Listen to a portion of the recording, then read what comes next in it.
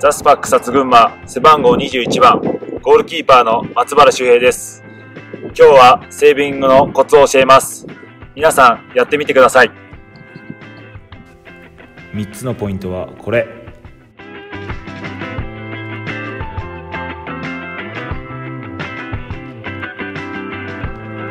しっかり構える。斜め前に飛ぶ。体は一直線。まずはボールがどこにあっても常に準備はしておく。ペナルティーエリアの近くや相手がシュートを打てるような状態になったらしっかり構えましょう。どんなボールが来ても動ける構えを作りましょう。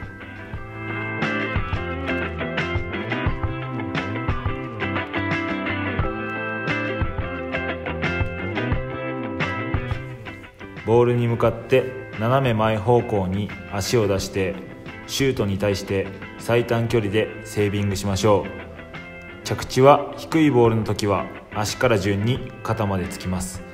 高いボールの時は一直線に着地を心がけましょう。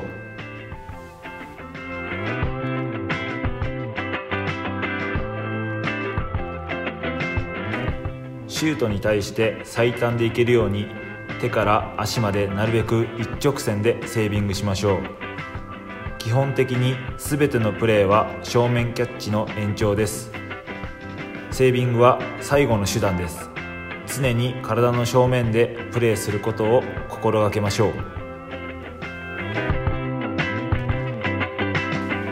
ゴールキーパーは特別なポジションです。強いチームにはいいゴールキーパーがいます。いいゴールキーパーがいるチームは強いです。日頃から誰よりも練習してみんなからの信頼を勝ち取りましょう。